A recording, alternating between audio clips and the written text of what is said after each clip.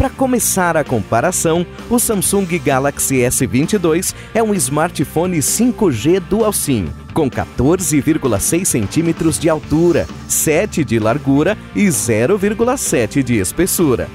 Por sua vez, o Samsung Galaxy S20 FE é um aparelho 4G Dual Chip com 16 centímetros de altura, 7,4 de largura e 0,8 de espessura.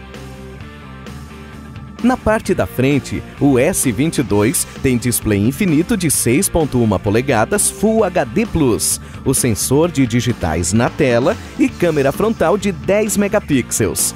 Já na parte da frente do S20 FE, temos display infinito de 6.5 polegadas Full HD+, o sensor de digitais na tela e a câmera frontal de 32 megapixels. Agora, na parte traseira do S22, vem a câmera principal tripla de 50, 12 e 10 megapixels com flash. Enquanto isso, a parte traseira do S20 FE traz a câmera principal tripla de 12, 8 e 12 megapixels com flash.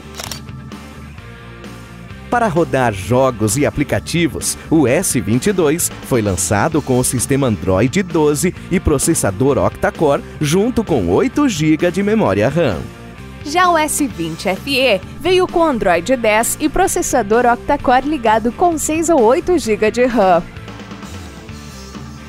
Além da bateria 3700, o S22 tem armazenamento de 128 ou 256 GB para salvar seus apps, fotos e vídeos.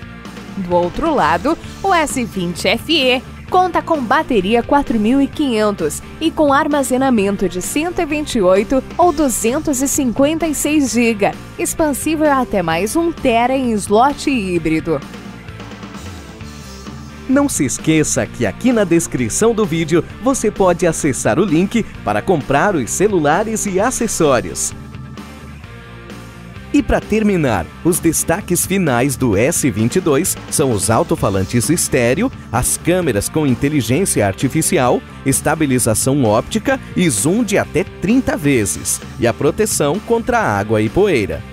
E os destaques finais do S20 FE também são os alto-falantes estéreo, as câmeras com inteligência artificial, estabilização óptica e zoom de até 30 vezes, e a proteção contra água e poeira. Demais, né? Confira as nossas dicas para os dois celulares, os links na descrição do vídeo e se inscreva também no canal.